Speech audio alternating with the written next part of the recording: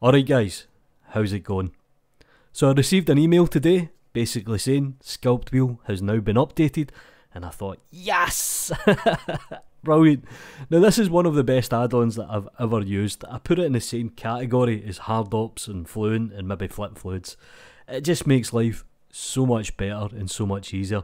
Now if you don't know what Sculpt Wheel is, it just received an update today. It's now getting classed as Sculpt plus Paint Wheel version 1.0 and it's absolutely phenomenal. I'll be completely honest here.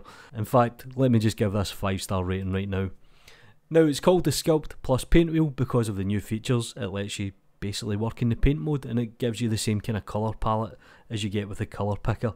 Now, it's 13 bucks. By the time you add on tax, it's roughly about 15, so keep that in mind. I'll put an affiliation link down below. I get a small kickback, developer gets a sale, everybody's happy. You're more than welcome to use it. But let me just show you some of the new features in Sculpt Wheel because oh my god, it's so damn good. now, run over the basics with it. Now, when you press spacebar, you basically get a UI that lets you quickly select a brush. Now, this can be customised pretty much in any way that you feel necessary.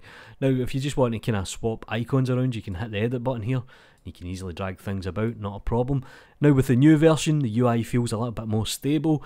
It's just a bit cleaner feeling as well. It just definitely feels much more refined. Now we have a thing called the gesture pad. So if you move left and right, you can put the strength of the brush up. If you move up and down, you can put the size of the brush up. You obviously have kind of options here for masking, clearing, smoothing, basic operations. Now, like I mentioned, you can easily customize this. If you go to the properties on the right hand side, you can see here we can easily change brushes, not a problem. We can even add in our own new tool set. So if I go to a new tool set, let's select a brush like Draw Sharp and let's add this to the active brush. Now we can actually even include our own custom icons. So maybe you don't like the default icons or you need something that's a bit more visual. You can tweak this until your heart's content. You can see here custom buttons. We also have wheel settings and there's a nice new addition, press again to close. Now initially you had to hold in spacebar but now you can just press it once. So if I press in spacebar you can see here I now have my new toolbar and we can populate this with as much as we really want and I think we can have four or five different kind of tool brushes so maybe you'll have one for just sculpting, maybe you'll have one for just kind of fine tuning or posing or masking, completely up to you. Like I said, pretty damn customizable and it's so cool.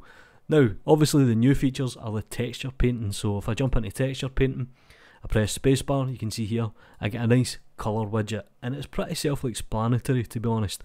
Now up here, we can control the size of the brush, down here we can control the strength of the brush. If we hold in control, you can see here it works in increments, if we hold in shift, it'll work in kind of smaller increments.